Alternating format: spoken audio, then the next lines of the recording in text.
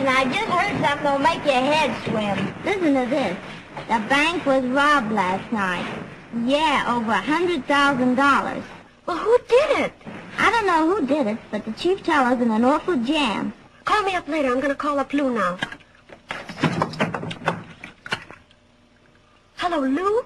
Say, did you hear what happened over at the Union National Bank? Wait a minute, Lou. Hello? Yes, sir. I'm trying to get them. Yes, Lou.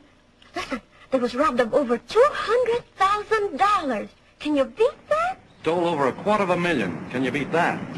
We can't laugh that off. I thought the Union National was pretty solid. I did too. But half a million is a lot of money.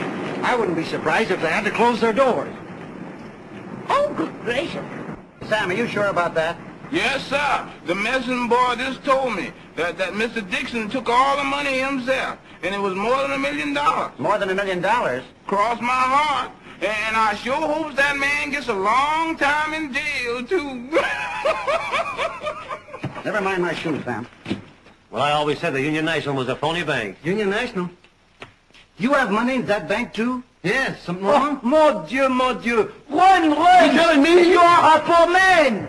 I tell you, I got it from the best authority. Dickson got away with several million dollars. Boy, that's the end of the Union National Bank. That's the trouble nowadays. You don't know who you can trust. You said it. Say, is there something wrong with the Union National Bank? Something wrong? Brother, that ain't the half of it. If you got any money in there, you can just kiss it goodbye. No, you're kidding. No, I'm not.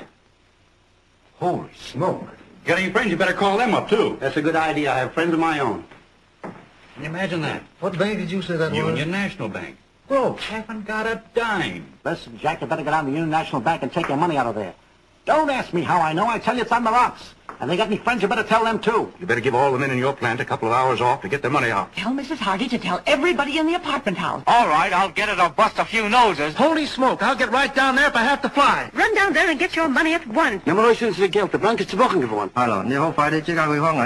Hello, dear. Listen, have you heard the news? Oh, please hurry. Don't know. The Union National is some. I told you we should have put it in the vault. They've to the Union National Bank. Call the Kincaids and tell them about it. I don't know what's wrong with the bank. I wouldn't trust anybody. Everybody's taking their money, out. Union National's broke. Holy John Julius Priest. Ja, gicht, die maar even. Our money is all gone. I tell you, it hasn't a chance. All right, honey, I'll go right down. You better hurry up, too. If you don't hurry, Don't lose a moment. What will we do? I'm going right down. why take any chance? Mother just told me. That dirty dog. I just heard it. Tipping you off. Bank's broke. John, hurry up.